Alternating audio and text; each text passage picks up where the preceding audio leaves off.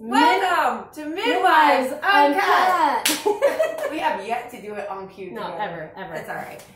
Hello, everyone. We are doing our episode today in our birthing suite, one of the birthing suites at Natural Birthworks, our birthing center in Margate, Florida. Um, we wanted to go over today's topic being okay, I've chosen a natural birth. Now, what can I do for the intensity that goes along with it, Mhm. right? Because I think that a lot of people think that there's no options for things to help them with labor when they choose a natural birth. And it's just not true, Mm-mm. right? Yep. And the convenience of having our birthing center is that we have been able to incorporate all the tools that we've ever learned about here so that you have access to them while you're laboring. And not only do these tools benefit a lot of discomfort that labor brings, but it also can help labor go quick and smooth. Mhm. So, we are going to go over some of the uh, tools here, and we're going to even demonstrate because Mhm. we're just feeling fancy. And I, I must have like a turbo shot of coffee in my coffee Sound because like I'm like really hyper. So, um, so I guess we'll start off with what do you want to start? Which tool would you like to start off with, Sandy? Well, everyone is always dead set on the tub. I personally love the tub when I was in labor. I know that Galena loved the tub, and it's amazing. It's great. The only problem with the tub is that it's not always good if it's like in early stages where it might slow things down. But it is great when things are moving, and it's going to help take the edge off, and you know, it's just going to help relax you to that point so that your body can do its job.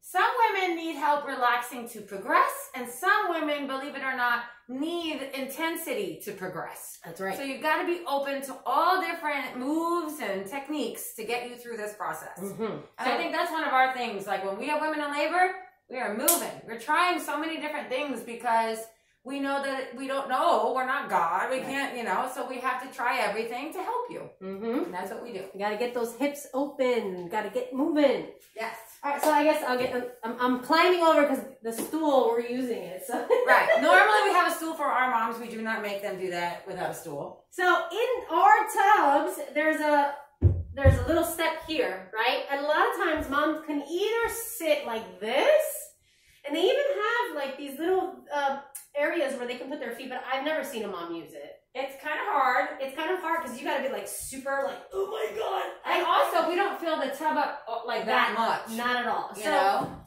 what we see most of our moms do and what we like is they're either here, well, let me go this way so you can see. They're hanging onto the edge of the tub. You can squat inside the tub, Mm-hmm. right?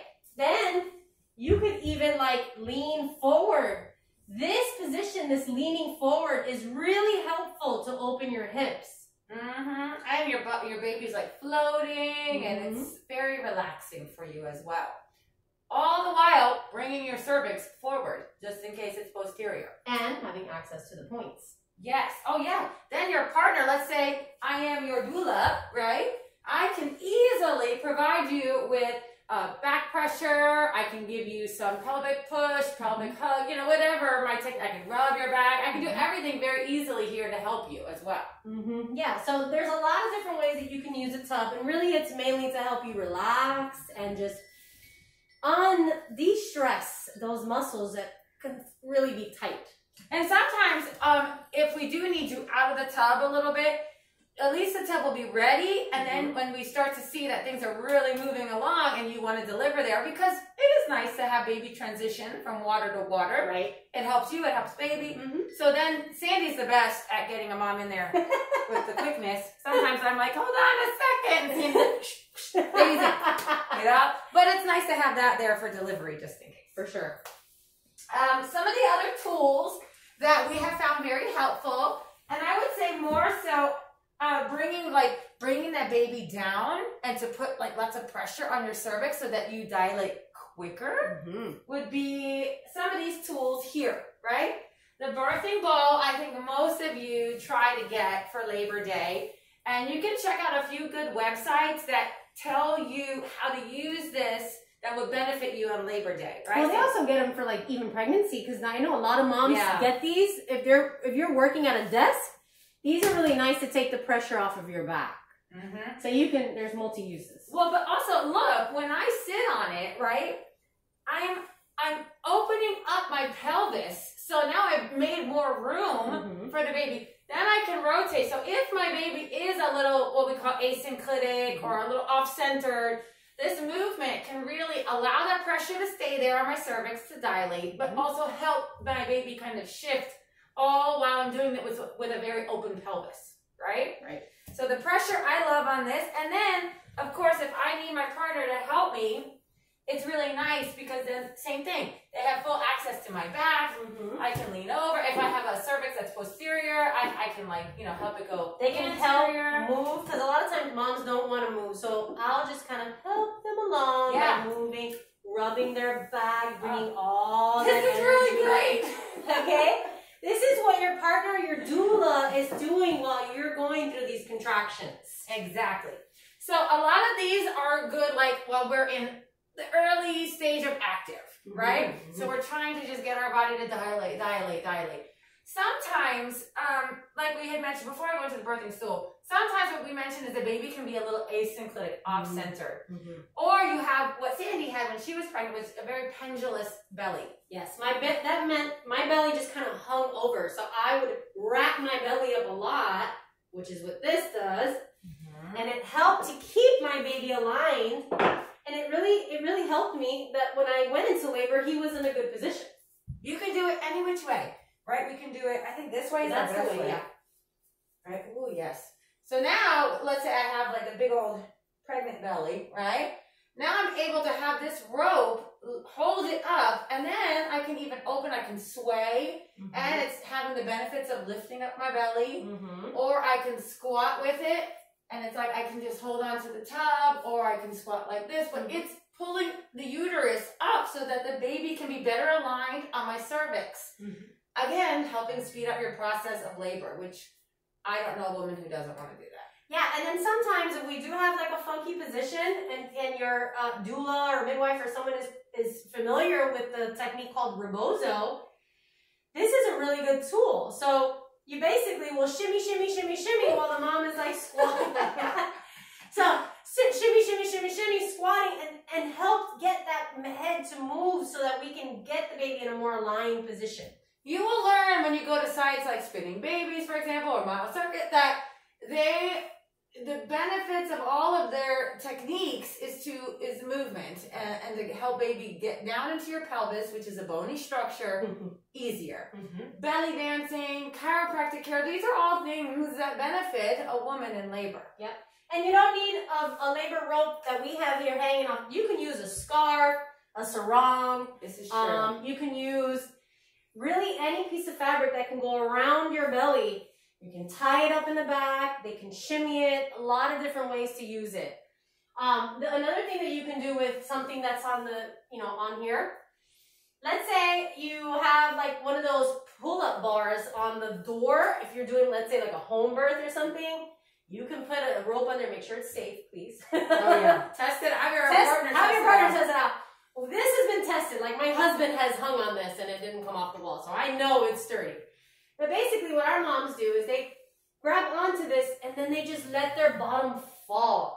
This squatting position is so good to get that baby nice and low into the pelvis. Even for pushing, Yep. that's great.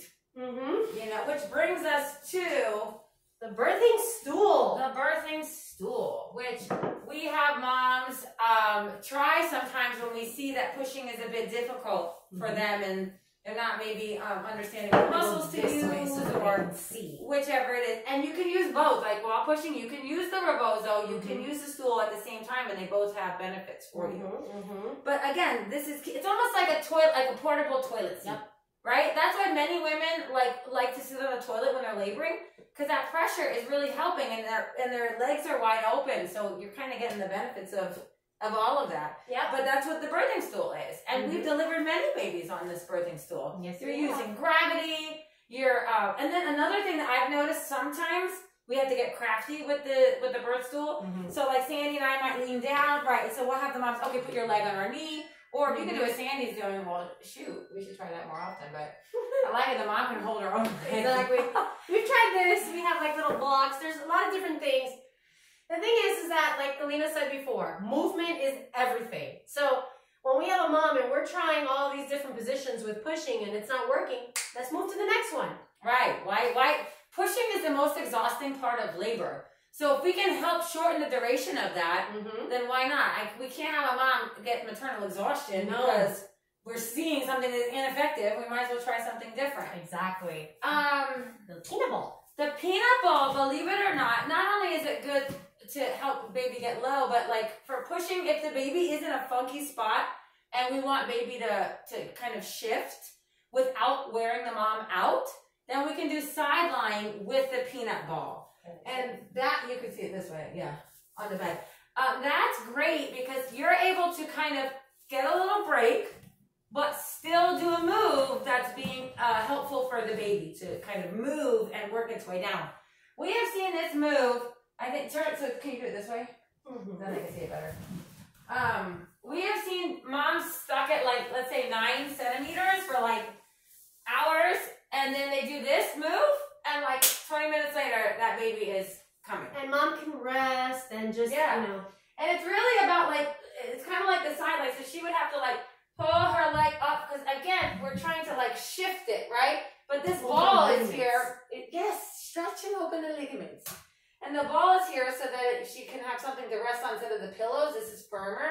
And we do a little bit on this side, we flip them, do a little bit on the other side, and usually mm-hmm. we see a head after that. Oh yeah, very very often. And then another thing that is very helpful, I gotta grab my phone to show you guys, that we have incorporated. A lot of people believe in, you know, different things to help them with their mood and being able to relax with colors and music. So the birthing center has, you know, we have a stereo, and what we put on top of our tub is uh, different colors, hue lighting, right? So for those that really believe that colors can affect how their mind works, which I totally agree, they can pick a color from our hue lighting. And I'll try to show you a little bit. Sometimes I have too much fun with this with women in labor, and it's like disco night when we're here.